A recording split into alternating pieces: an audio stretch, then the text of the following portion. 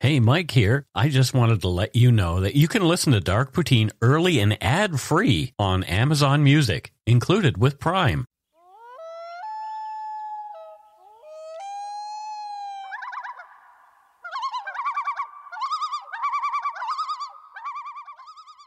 All right, and we are back for yet another episode of Dark Poutine. I am Michael Brown, and that is Matthew Stockton. And this one has me riled up, Mike. Oh my gosh. In our pre show planning, Matthew's just Livid. he's livid. Yeah. And I am too. And it's why I wrote it the way I wrote it, because I knew it would be provocative and it would get people talking. This is one that is really probably going to make you think, folks, Mm, and uh, hopefully make you think more about human beings. yes. The views, information, and opinions expressed during the Dark Poutine podcast are solely those of the producer and do not necessarily represent those of Curiouscast, its affiliate Global News, nor its parent company, Corus Entertainment. Dark Poutine is not for the faint of heart or squeamish. Our content is often intense, and some listeners may find it disturbing. We are not experts on the topics we present, nor are we journalists. We are ordinary Canadian schmucks chatting about crime and the dark side of history. Let's get to it. Put on your toque, grab yourself a double double and a Nanaimo bar. It's time to scarf down some dark poutine. You are responsible for obtaining and maintaining at your own cost all equipment needed to listen to Dark Poutine. Dark Poutine can be addictive. Side effects may include, but not be limited to, pausing and questioning the system, elevated heart rate, pondering humanity, odd looks from colleagues as you laugh out loud at work, family members not into true crime worrying about you. Positive side effects may include some perspectives and opinions that you disagree with, as well as some wokeness and empathy. If you don't think Dark Poutine is for you, consult your doctor immediately.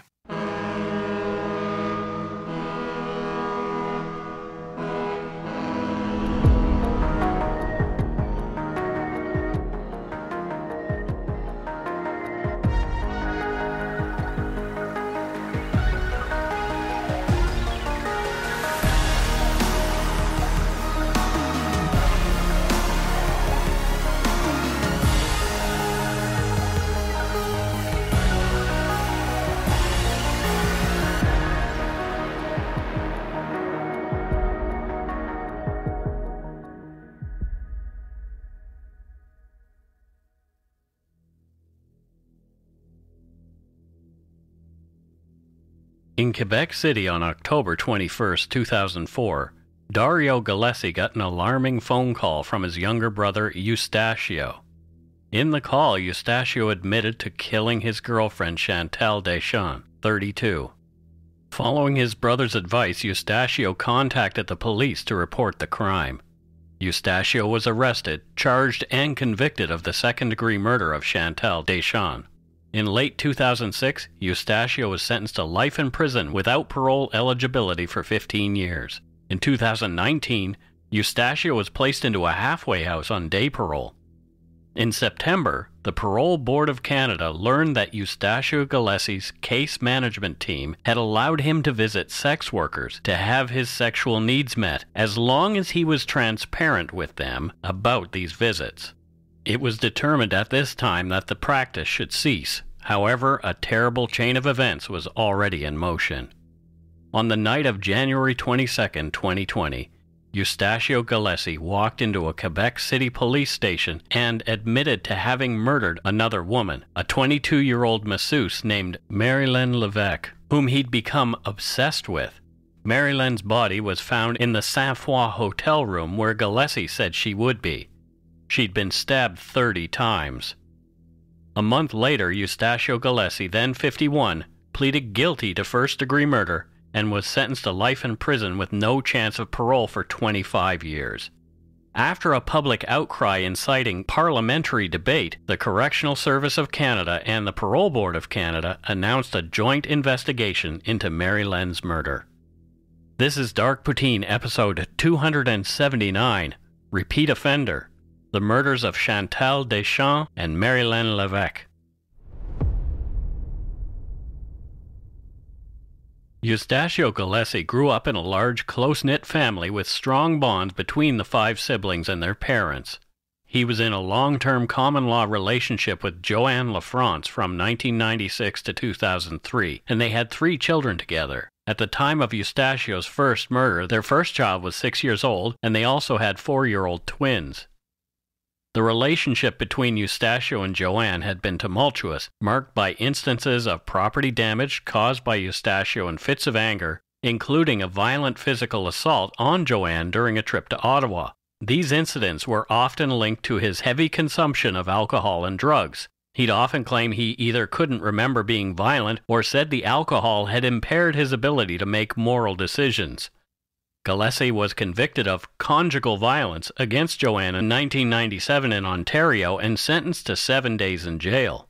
However, Joanne claimed not to fear Eustachio and described him as a good father to their three children, albeit often absent due to his demanding job. She noted that his issues with alcohol and cocaine became severe following the birth of their twins, which prompted her to urge him to seek treatment.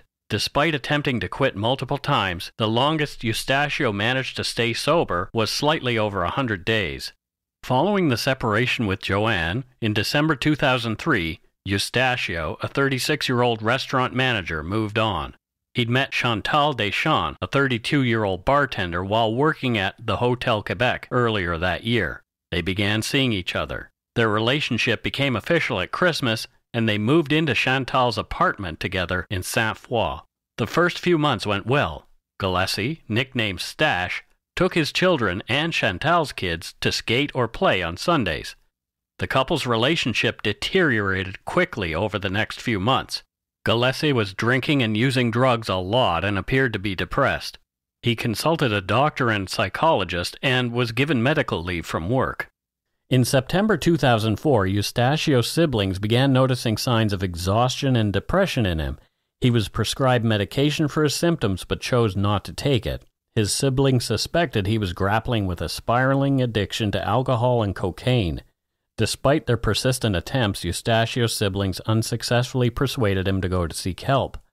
Eustachio maintained that his demanding job, which required more than 60 hours of work a week, left him with little spare time. He planned to quit his job by the end of 2004 due to the intense work pressure. So you've jumped right into a lot of horrible stuff pretty quickly here, Right. right? This guy is on a downward spiral fast. So the reason I did that is because this first murder, his background prior to that, there's not a lot of information about Okay. who they were, who he was, Right. because sadly, and I'm saying sadly, honestly, domestic murder is not treated with much attention here Right. in Canada. Right. Perhaps because it isn't sensational enough. It's not spectacle enough. Yeah, it's them. not spectacle enough. Okay. I mean, there was some coverage, but there wasn't nearly as much as obviously what happened after Eustachio's second murder. But we'll get there. Right. Gallese later claimed that Chantale Deschesnes often returned home late around 6 a.m., which was well beyond the end of her shift at the Hotel Quebec bar. Gallese expressed discontent with her late night returns and criticized her for having improper conversations with her colleagues. Deschesnes confided in her mother, grandmother, and coworker about her partner's controlling nature, citing his jealousy and constant monitoring. Witnesses gave conflicting accounts, with some describing Eustachio as overly jealous, while others claimed that both were possessive, often leading to disputes. Eustachio claimed he was considering leaving Chantale to return to Joanne and their children. Days before her tragic end, Chantale Deschesnes expressed to her friend Giselle Brisson that she was afraid of leaving Gallese due to the potential threat to her job. There were no indications of physical abuse at that time, but she did express fear of Eustachio to her grandmother, revealing her intent to leave him. However, he refused to let her go. Her grandmother suggested that she contact police, a suggestion Deschesnes refused out of fear. Her grandmother also later recounted disturbing threats made by Gallese where he had vowed to disfigure Deschesnes to prevent anyone else from seeing her beauty. Chantale's mother testified that Gallese had issued a chilling warning to her daughter stating, quote, If you want to leave me, no one will ever get you. End quote. On October 20th, 2004, the day before her death, taxi driver Louis Plante noticed that Deschesnes seemed nervous. She confided in him that she had just ended her relationship with Gallese and they'd had an argument. Despite their breakup, they spent the night of October 20th together in their home. On October 21, 2004, an argument broke out between Eustachio and Chantale after she returned from work in the early hours. The babysitter, who had stayed overnight to care for Chantale's daughters, overheard the dispute. The morning after, Eustachio Gallese brutally murdered Chantale Deschesnes, claiming she had initially tried to attack him with a hammer. He then reportedly grabbed the weapon and hit her multiple times before stabbing her in the face and chest with two butcher knives. The pathologist concluded that the victim was strangled and never left the bed during or after the attack. Following the brutal murder, Gallese covered Deschesnes' body with a comforter and wrote cryptic messages on the wall. One day, plot. Always plot. I'm not sure what that means. Panicked, he considered suicide, wrote farewell notes to his children and their mother, and professed his love for the children's babysitter. He covered the bedroom window with fabric to prevent the children from witnessing the gruesome scene. Later that day, Eustachio picked up Chantale's daughters from school and took them out for lunch. Before doing so, he left a case containing a large sum of money at Joanne's house. After lunch, he confessed to his brother over the phone about murdering Chantale. Dario persuaded Eustachio to turn himself in, and he surrendered to the police, insisting they reach the school before the children returned home to discover their mother's lifeless body.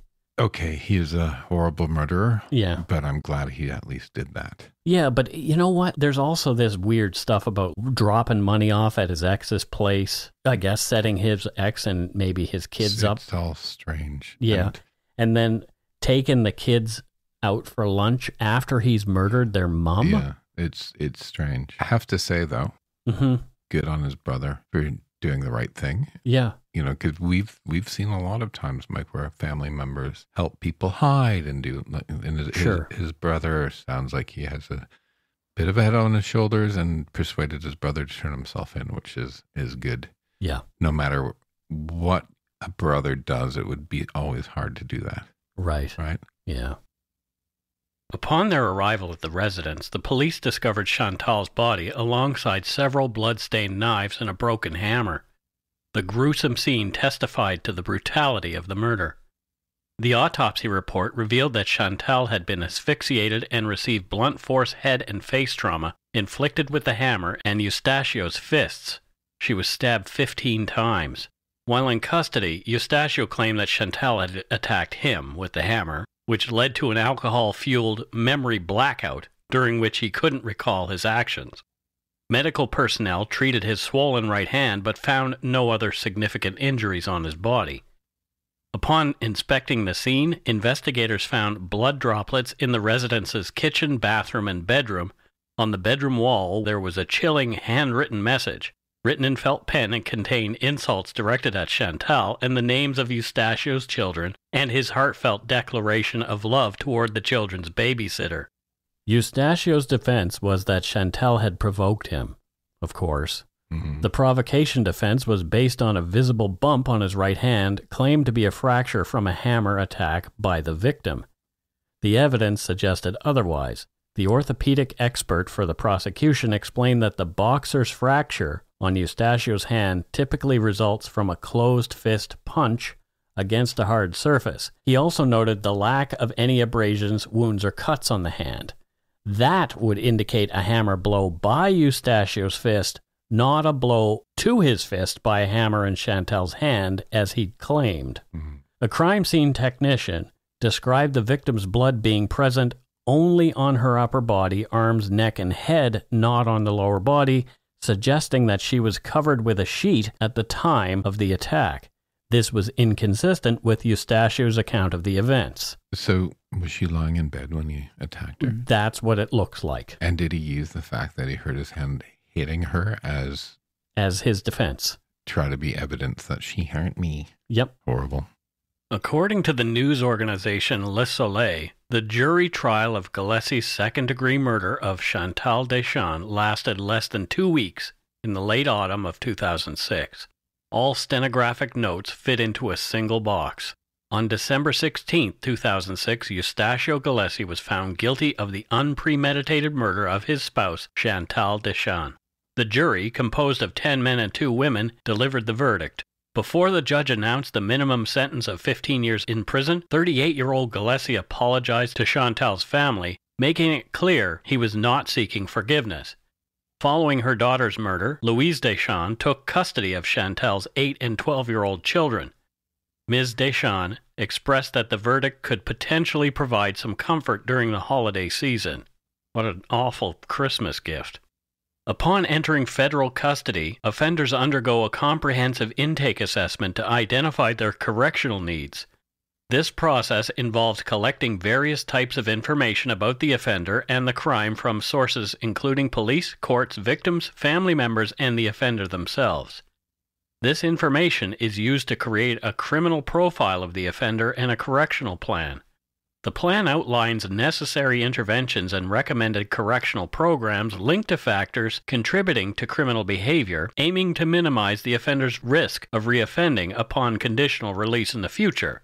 And the correctional plan is a reference for tracking the offender's progress throughout their sentence and can be adjusted as necessary. As part of this intake assessment, and periodically thereafter, the Correctional Service of Canada, CSC, determines the appropriate security level based on three criteria institutional adjustment, escape risk, and risk to public safety.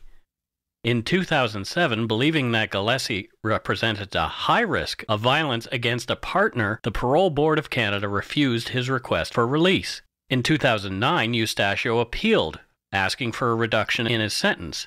He claimed the jury did not give him the benefit of the doubt regarding his provocation defense. His appeal was denied, and his sentence remained in place. In 2016, because of his good behavior in prison, Gallese gradually began working toward his freedom through supervised outings. He was released to a halfway house on day parole in March 2019 and got a job. In September of that year, he sought further freedom, including full parole. The Corrections Conditional Release Act, CCRA, outlines that the parole board considers two things when granting parole. One, that the offender will not, by reoffending, present an undue risk to society before the end of their sentence, and the offender's release will contribute to society's protection by facilitating the offender's reintegration into the community as a law abiding citizen. During a September 19, 2019 hearing, a transitional housing facility clinical worker presented Eustachio Gallese's case to the parole board. The worker outlined Gallese's progress since his release, risk factors, ongoing issues, and collaboration with the case management team. The plan proposed by the worker was to continue Gallese's day parole, while full parole was not recommended then. The clinical worker also explained that the case management team had allowed Gallese to visit a massage parlor to satisfy his intimate needs due to his openness about his sexual requirements. This arrangement was seen as a more effective and safer risk management strategy than Gallese using dating sites. More about that later, but Yeah. I am sorry. This is where I started getting livid earlier. Yep. I'd have told him to make really good friends with his right hand if he had sexual needs. Right. He's already shown that he cannot be trusted in relationships with a woman. But oh, ugh, Yeah. jerk off. Yeah. Like, like, uh. At the time, the parole board decided that this practice of paying for sex should stop and told Eustachio this verbally. However, it is mentioned very briefly in the report. Journal de Quebec released excerpts of the report by the Parole Board of Canada. They follow, quote, your parole officer pointed out that a strategy has been developed by your case management team so that you can meet women, but only to meet your sexual needs by attending a massage parlor, a way that was later deemed inappropriate by the Commission. The risk management strategy, as understood and presented to the hearing, paradoxically constituted a significant and worrying risk factor. So he's a danger still. Although you are still single and you say you're not ready to enter into a serious relationship with a woman, you can assess your needs effectively. At the time of your acting out in 2004, you were struggling with a problem of impulsivity, aggressiveness, and a low tolerance for frustration, and at least one spouse had been a victim of this in 1997, his first wife. End quote. So my summary of all of this is, is the parole board thinks that he's too dangerous for women Yeah. who aren't sex workers. Right. But with sex workers, in their minds, Mm. and remember, this isn't some sort of. It's not the parole board who said, because remember they said Okay. this, this, this should stop. It's his case management okay. team. Then the case management team. Okay. okay. Wait. The system, right? His case management team thought too dangerous for women who aren't sex workers, but with sex workers, it's a worthwhile risk. That is what they decided. That is what they decided. Disgusting. Yeah. Truly disgusting. Dehumanizing. disgusting. Those people should be ashamed of themselves. They should be. Eustachio was required to report any relationships with women, sexual or otherwise, and was forbidden to consume drugs or alcohol. Not telling his case management team he was doing so, Eustachio continued going to Gentleman Paradise Massage Parlor for erotic massage. He had quickly become obsessed with a 21 year old masseuse named Marylène Levesque. She was beautiful, compassionate, and kind. Eustachio wanted to spend as much time with Marylène as he could, but wanted more than just massage. He'd bought her expensive gifts, including a television, for Christmas. Eustachio would sometimes show up at the parlor under the influence, and he was eventually barred from the salon after being violent with other workers there. Eustachio thought he'd fallen in love with Marylène. She had rejected his wishes to elevate the relationship and wanted to keep it strictly professional. This was a severe blow to Eustachio Gallese's fragile ego. He began thinking dark thoughts about Marylène. Eustachio bought a knife at some point in the weeks leading up to her death. More after a quick break.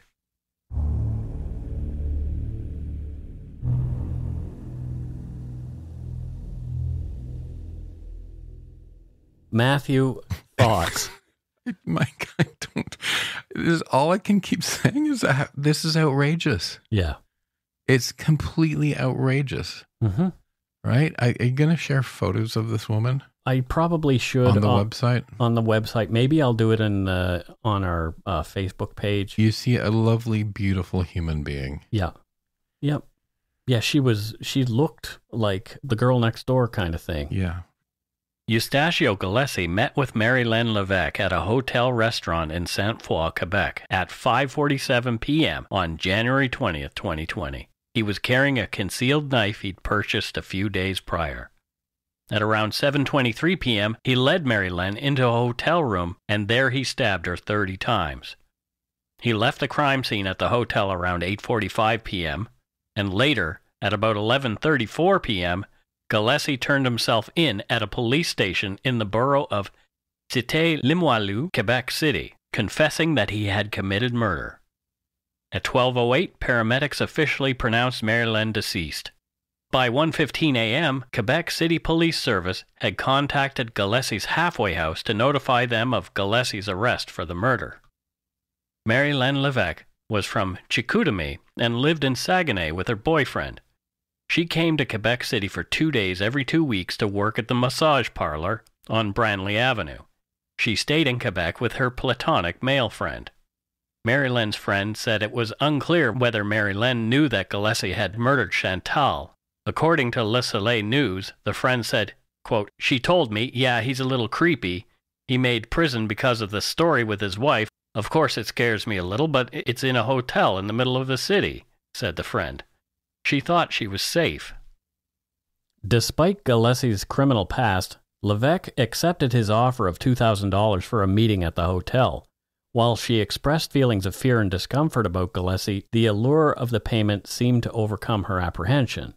This was not Levesque's first meeting with Gallese under these conditions. Just two weeks prior, she'd met him in a similar setting for a payment of $1,300. The friend who was privy to Levesque's feelings about Gallese expressed his deep concern for her safety and strongly advised her against the meeting. We don't want to imply that Marylène had in any way contributed to her murder. She was acting on the information she had at the time, and Gallese had led her to believe she had nothing to worry about. However, recognizing her strong willed nature and the enticing financial gain that Gallese offered, her friend felt his warnings went unheeded. He must have felt so awful after this went down. Yeah. Um, imagine the feeling of guilt, the Mm. feeling of I, I should have stopped her. Yeah. But adults have to make their own decisions, right? And he couldn't, like, he couldn't forcibly hold her down to stop her from going because, you know, it was a maybe, right? Mm-hmm. Wasn't even a maybe. It was just like, yeah, it's not the best thing to do, Right. right? But and then you'd be you'd be going through that conversation in your head a million times after that. Yeah, you definitely would. The poor guy. A former masseuse who'd worked for nearly a year and a half with Marylène Levesque was troubled by her death. She told Le Soleil, quote, she had the future ahead of her. She was generous and there for her friends. To her knowledge, masseuses very rarely saw customers outside the salon. Quote, we all know that it's dangerous to do that. Generally, women who work in salons do so precisely for protection. Several customers who'd been staying at the Hotel Sepia were surprised to hear the news. They'd not heard anything. Denis Plant of Valleyfield said, quote, I was two rooms away from the event. I returned to my room after dinner around 6:30 p.m. Apparently everything had already happened. End quote.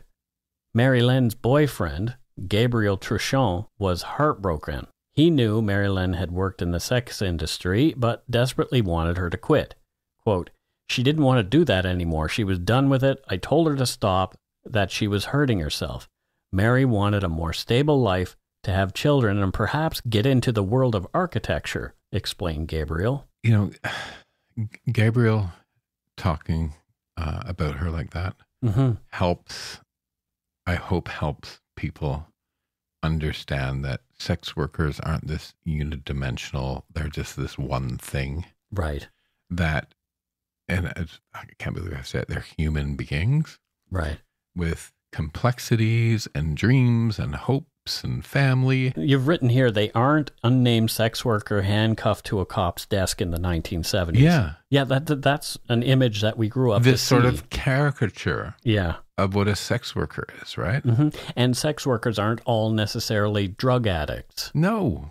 Uh, Mike, I've known hmm in London, Right. I've known sex workers, boys and girls, Mhm. right? Yeah. And you know, they have they have boyfriends, they have girlfriends, they're n- normal people. They just They, they they, have lives. They do this job and you know, n- none none of them want to be in it forever. Right. right? But it's paying the bill while they go to university and stuff like that. Yep. So maybe that's why I get so upset because I've known some and they're just actually surprisingly boringly just normal human beings, right? Yeah. Marylène's boyfriend Gabriel continued, quote, I know that people judge me, but I don't care. She was going to work in Quebec City. She had her role there. It wasn't me who forced her to do that. On the contrary, but you know, she made a lot of money. It's hard to leave that environment. When she was in Saguenay with me, we had our little life with our dog.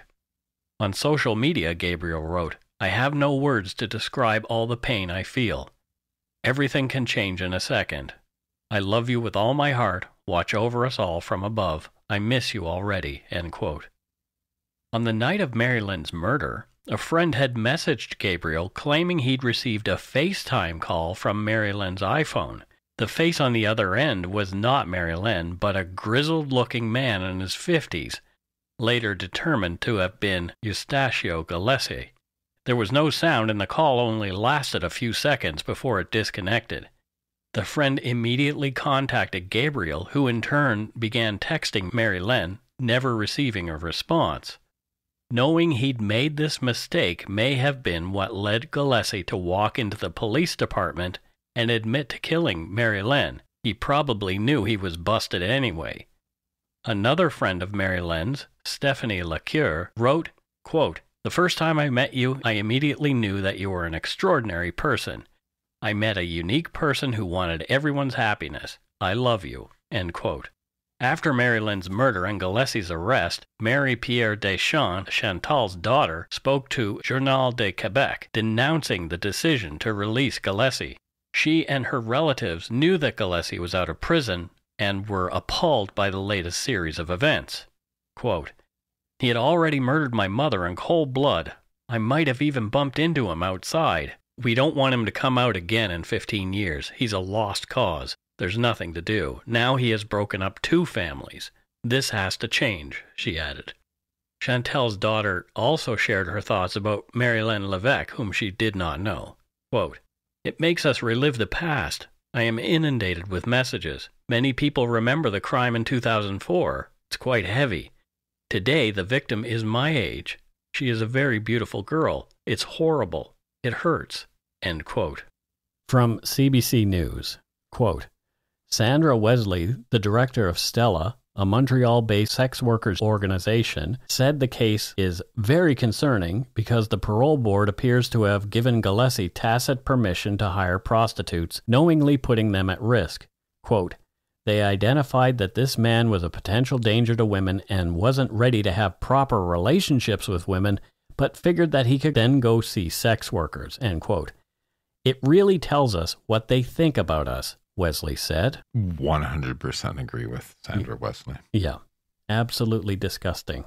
Carrie Porth of Pivot Legal Society, a Vancouver based organization, weighed in too. According to their website, Pivot partners with communities affected by poverty and social exclusion to identify priorities and develop solutions to complex human rights issues. Their work is focused on four policy areas police accountability, drug policy, homelessness, and sex workers' rights. Despite the parole board's knowledge of Gallese's potential danger to women, they allowed him to seek services from sex workers to, quote, satisfy his sexual needs. This decision effectively endorsed his participation in criminalized behavior, purchasing sexual services, that would typically result in parole violation. Gallese was considered a threat to women, but the board somehow thought this didn't extend to sex workers.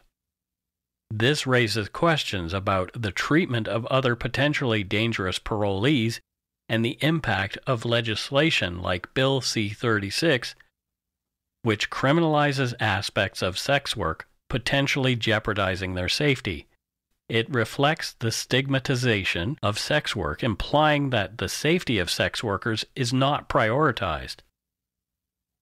To expand on Bill C 36, mentioned by Pivot, it is also known as the Protection of Communities and Exploited Persons Act, enacted by the Canadian government in 2014 to reform the country's approach to prostitution.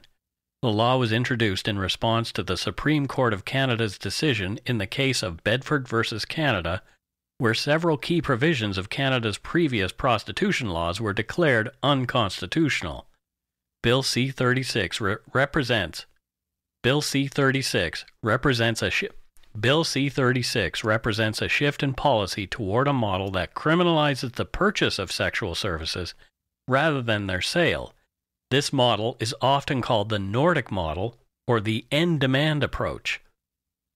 The bill also targets third parties who profit from prostitution, making it a crime to receive financial or material benefits from the prostitution of others, including those who run businesses like brothels or escort agencies. Additionally, advertising the sale of sexual service is deemed illegal under this law.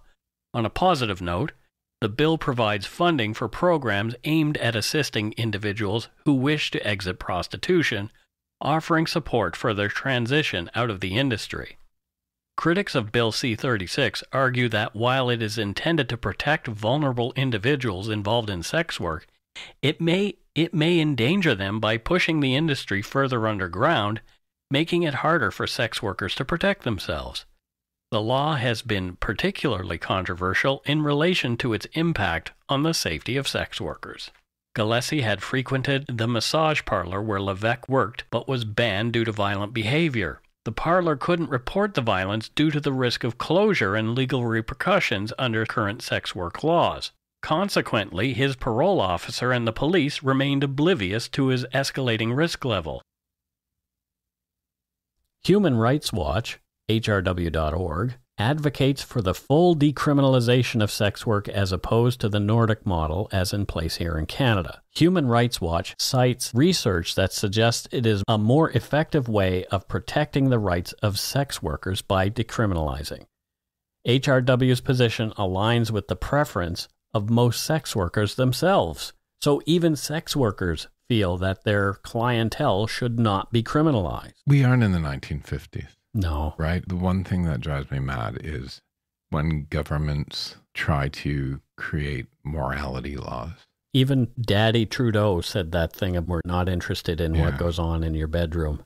Yeah, because morality, because, you know, I am a gay man, Mhm. right?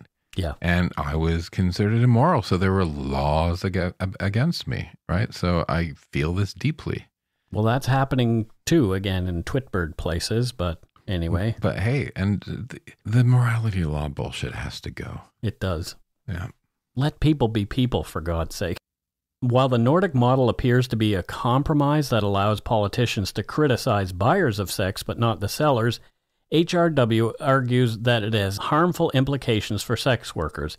It aims to eradicate sex work, making it difficult for sex workers to find safe working conditions, unionize, advocate for their rights, or even open business bank accounts. The model further stigmatizes and marginalizes sex workers, leaving them susceptible to violence and abuse as their work and their clients are still criminalized. Criminalizing customers of sex workers is Mm-hmm. as ridiculous. And it's so bleedingly clear Yeah. that it would be much safer, much smarter just to let all this crap go. Human Rights Watch continues to opine that sex work is not inherently a form of sexual violence. When an adult willingly exchanges sex for money, this does not constitute sexual violence. However, when a sex worker becomes a victim of a crime, including sexual violence, it is crucial that law enforcement promptly investigate the situation and pursue legal proceedings against the perpetrator. The same applies when a person is forced into sex work due to coercion, such as by a pimp, or if they are victims of trafficking or violence from a client or pimp. These are serious crimes that require urgent attention from law enforcement. Although sex workers often face high levels of violence and abuse, this is usually due to the criminalized nature of their work. Research from organizations like Human Rights Watch suggests that decriminalizing sex work can reduce crime, including sexual violence against sex workers.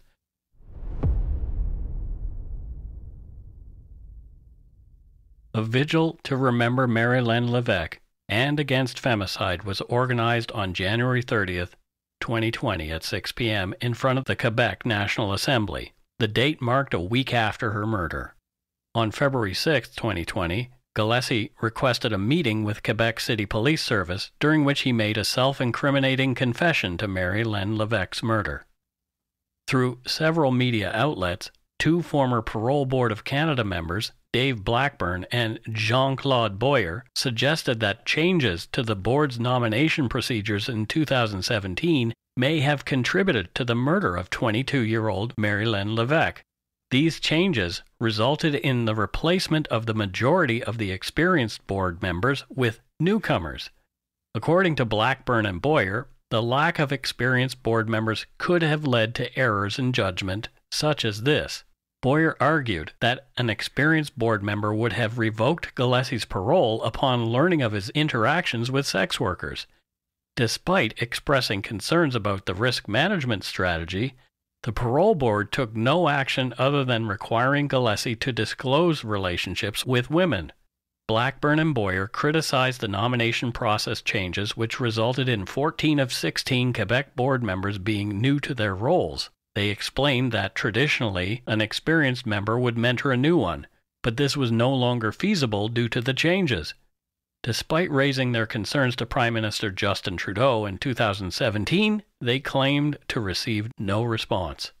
Soon afterward, as requested by Quebec Justice Minister Sonia Lebel, Federal Public Safety Minister Bill Blair announced in the House of Commons that the Commissioner of Corrections Services and the Parole Board of Canada chair would thoroughly investigate the circumstances of Eustachio Gallese's release. The investigation aimed to understand the events surrounding the release and ensure that any lessons from this situation are learned and applied in the future. Doing damage control, Blair also added, quote, Acts of violence by people on conditional parole are extremely rare. Conservative members of Parliament jumped on these concerns. They believed more needed to be done. On Valentine's Day, February 14, 2020, Member of Parliament Pierre Paul-Hus stood in the House of Commons. He moved, quote, that the House A. Condemn the decision of the Parole Board of Canada that led to a young woman's death by an inmate during day parole in January of this year, and B. Instruct the Standing Committee on Public Safety and National Security to conduct hearings into this matter, including a review of the changes made by the government in 2017 to the board's nomination process, with a view to recommend measures to be taken to ensure another tragedy such as this never happens again. Paul-Hus expressed his disgust and that of his constituents. He continued by criticizing the transformation of the Parole Board of Canada after the government change in 2015. He attributed the alterations to political appointments replacing experienced board members, causing concerns about public safety and effective knowledge transfer. He also mentioned an Auditor General's report from 2018 that highlighted problems with parolee supervision and accommodation. He argued that these issues and controversial parole decisions led to tragic outcomes like the death of Marylène Levesque. His commentary also brought up the case of Terri-Lynne McClintic, the convicted murderer of Victoria Tori Stafford, who was a child at the time. McClintic was transferred from a maximum security prison to a minimum security facility, causing public uproar and resulting in her return to the maximum security prison after the pressure. He also called for a review of the parole board's operations and decision making process. He quoted Quebec's Justice Minister Sonia Lebel, underscoring that public safety should be the foremost consideration of the parole process. Lastly, he pointed out a 2017 letter from eight former parole board members expressing concern about the transparency of the appointment process and potential jeopardy to public safety. He concluded by emphasizing the need for protection for everyone in the community, regardless of their chosen lifestyle. The Joint National Board of Investigation into the events surrounding the murder of Marylène Levesque by offender Eustachio Gallese was convened on February 3, 2020. They had already conducted preparation, review work, and some interviews. On February 20th, Gallese pleaded guilty to first degree murder and received a life sentence with no possibility of parole for 25 years. Based on public health guidance, the COVID 19 situation forced travel, interviews, and meetings related to the work of the Board of Investigation to be suspended on March 20, 2020. The Board of Investigation reconvened in September of 2020 to complete their interviews, the interviews were essential to gather comprehensive and critical information, ensuring the investigation's outcomes and recommendations, impartiality, integrity, and transparency. On January 21, 2021, the board's heavily redacted report was released. In summary, it reads The Correctional Service of Canada and the Parole Board of Canada have responded to the findings and recommendations of a National Joint Board of Investigation report regarding the murder of Marylène Levesque in 2020 by an offender on day parole. The CSC accepted all recommendations from the report to prevent a similar event from occurring in the future. Firstly, CSC has revised its supervision model in Quebec, assuming responsibility for community supervision aspects from Gallese's transitional housing facility, and is evaluating all other Quebec contracts to regain all direct supervision responsibilities for federal offenders. Secondly, CSC has bolstered its community supervision policies and procedures. The updated policy necessitates regular discussion on subjects like the offender's collateral contacts during case conferences to constantly reassess the offender's risk. Thirdly, a mandatory intimate partner violence training program for all parole officers and their supervisors was introduced to enhance their capacity to evaluate and manage reoffense risk. Disciplinary investigations have also been initiated to ascertain additional accountability measures, and involved employees have been reassigned and no longer oversee offenders. Even though the Board of Investigation has made no recommendations to the Parole Board of Canada, it had undertaken its own corrective measures. The Parole Board of Canada has provided refresher training to board members on decision writing, emphasizing the consistency between verbal instructions given at a hearing and written rulings. Further training has been scheduled and was completed in May of 2021. Quebec implemented a $41 million program to require certain domestic violence offenders to wear electronic tracking bracelets. The program, which was launched in the spring of 2022, aimed to enhance victim safety and ensure offenders complied with release conditions. The tracking system involved an ankle bracelet for the offender and a corresponding device for the victim, with authorities notified if the two devices got too close. The decision to use the devices was dependent on the victim's consent. The move came after a series of femicides in Quebec in 2021 and, of course, the death of Marylène Levesque in 2020. This prompted a coroner's report recommending electronic monitors for people convicted of murdering their partners. Had Eustachio Gallese been wearing an ankle bracelet, the report surmised, Marylène's murder may not have happened. His crisis management team would have known where he was and could have taken action. Neither Chantale nor Marylène in any way deserved their fates. More could have been done. We very much doubt that Eustachio Gallese will ever see the outside of a correctional facility, but stranger things have happened. As we've mentioned endlessly, the most notorious long-time Canadian prisoner, Paul Bernardo, has recently moved from maximum to medium security. More on that in a future episode. Who knows what the future holds for Eustachio Gallese? I mean, he only killed two people. Only. Only. If somebody was in control of a, a train or a ferry Mm-hmm. and was really bad at their jobs, did something wrong, they can get charged. If somebody dies, they might get charged with a crime, negligent homicide, for example. But, Yeah. but when you start talking about the system hmm in Canada, Right. it's always this nameless, faceless system. Parole boards, right? Case management team, Redacted files. redacted files, Yeah. right? I think potentially Mm-hmm. the people on that case management team should have been charged with manslaughter. Or Just just let me provoke that for a second. okay. Why not? okay, Why not?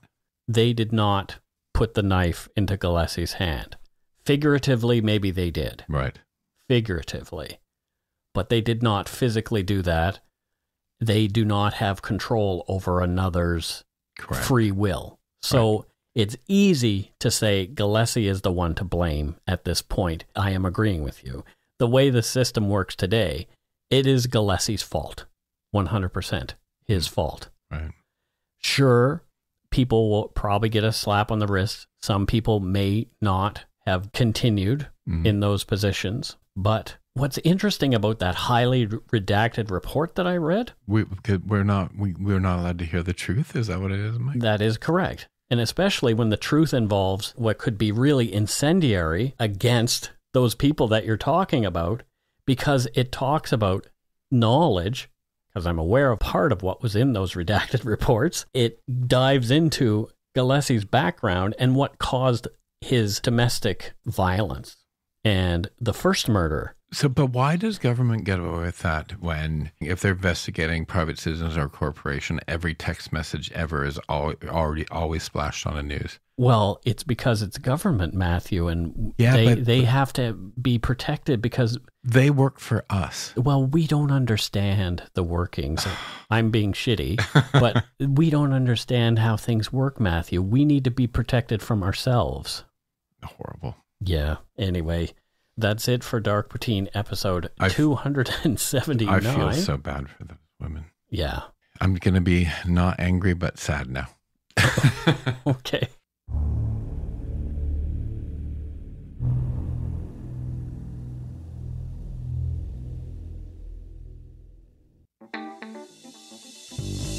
That's right. It's time for voicemails. You can leave us a message at 1 877 327 5786 or 1 877 DARK PTN. We'd love to hear from you. Let's see who called us this week. Alrighty, let's move on to voicemails. We have one this week, which is great. So uh, let's have a listen. It's a 506 number, so I believe that is New Brunswick again. Hi everyone, it's Kale calling again. My pronouns are they them. I'm currently driving back from Nova Scotia, Halifax. Um, I just got done writing my NCLEX, my nursing exam, to become a, reg- reg- a registered nurse. And I'm finally catching up on episodes. I'm listening to episode 269, and as soon as you mentioned Oromocto, I breathed a little bit because that's where I'm living right now with my military partner. Um, a a little not so well known outside the military fact about Gagetown is that it's the place where folks get voluntold to go when they don't perform well at their military job.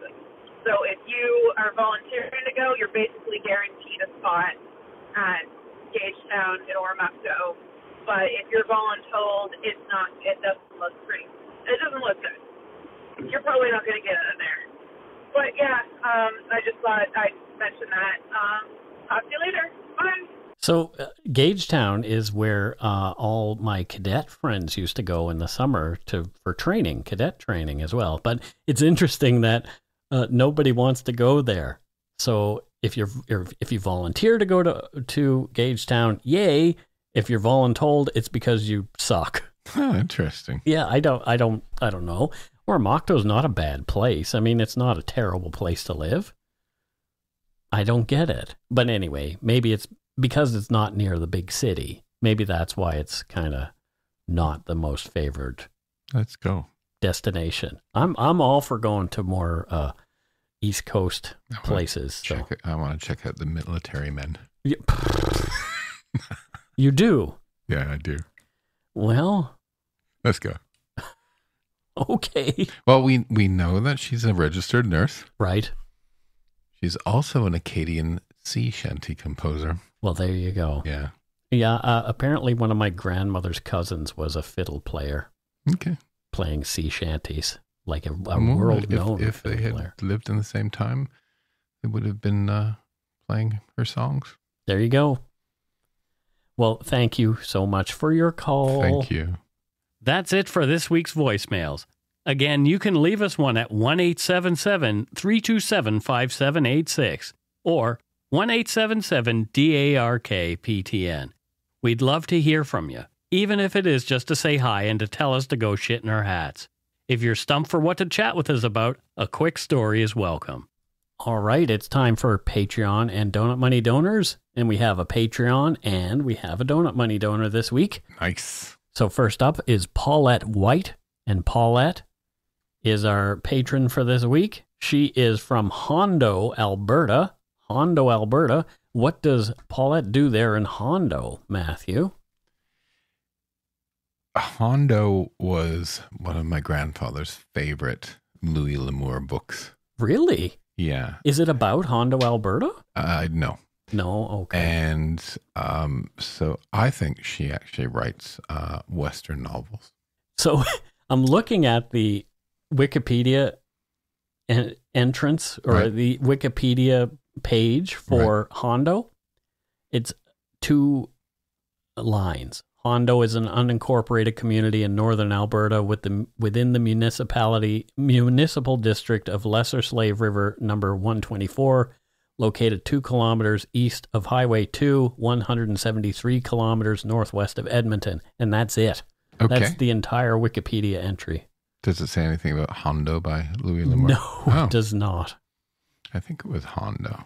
So, okay. So, I used to read a magazine called Honcho when I was younger. uh, yes, that's a different kind of magazine, Matthew. Honcho? So Paulette, what does Paul- Paulette do? in- Paulette writes Western novels. Well, there you go. Yeah, yeah, Hondo. Well, it, it sounds like a fun thing to do. I sometimes like a Western. I, I don't like the attitude sometimes in Westerns. They're a little antiquated and She does contemporary westerns. ah, so so like no bigots in hers. yeah, she does cool westerns. Oh, Like what was that movie with the black sheriff? the movie with the black sheriff. The comedy, I don't remember. and it's a western.